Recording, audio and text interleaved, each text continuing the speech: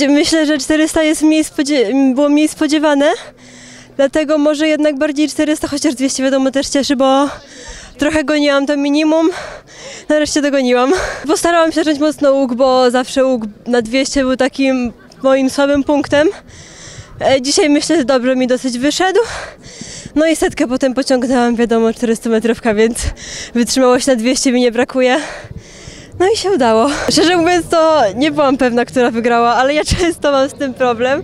E, wczoraj właśnie też myślałam na 400, że dobiegam trzecia, a na mecie dowiedziałam się, że jednak byłam druga. Więc to przyjemne zaskoczenie. Mm, To trenerka cały czas mi powtarzała, że byłam gotowa i na minimum na 400 i na 200. Tylko wiadomo, w głowie wszystko siedzi, powinnam w to uwierzyć. No i chyba uwierzyłam i się udało. No myślę, że 400 metrów jednak trenerka się będzie ku temu skłaniała. No ale też myślę, że do 400 zawsze jest szansa na sztafetę. No a wiadomo, w sztafecie jak aniołki biegają, co można zdziałać. Więc myślę, że 400. No oczywiście no Iga jest dla nas wszystkich w grupie autorytetem. No każdy chciałby kiedyś e, dorównać temu, co robi Iga aktualnie na bieżni. Nie, mam nadzieję, że kiedyś się uda.